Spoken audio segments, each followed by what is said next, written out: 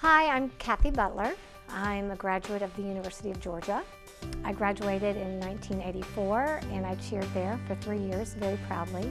I cheered uh, while Kevin was kicking and that was always a lot of fun for us.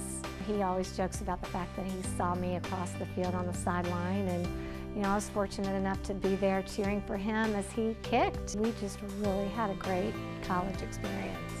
Some of our fondest memories as cheerleaders um, was with our coach, Coach Mike. He actually was a football coach and became the cheerleading coach. And I mean, he whipped us into shape. It was all about representing the G and firing up the stands and the fans and the students and it was just a commitment of heart and we all laugh about it now just because it was one tough commitment and we all just loved it.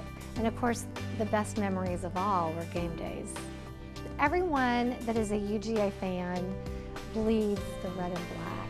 And they all have a memory that they want to bring up and they want to show it. And if they have it on their phone, and they're together at a party, they can say, but I was here at this game. Do you remember this moment?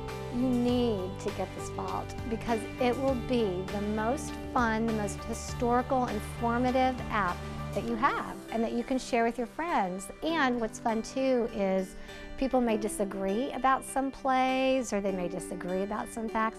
And when you have this app, then you've got the information right there at your fingertips and then you can show them. You can say, nope, it's right here. I got you. I'm right. I can prove it. And not only can they explain it and emote it, they can pull it up and say, this was my greatest memory. Do you remember that? Do you remember where you were? And that's always a lot of fun.